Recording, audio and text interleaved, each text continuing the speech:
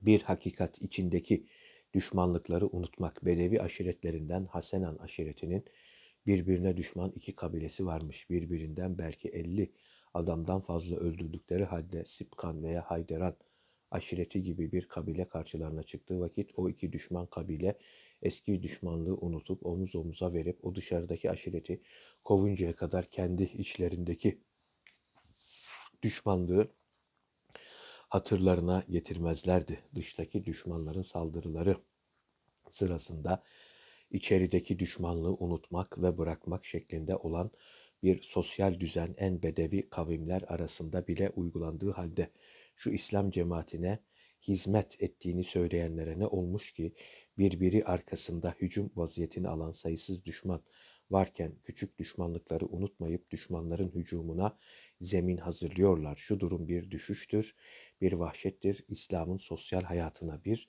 ihanettir.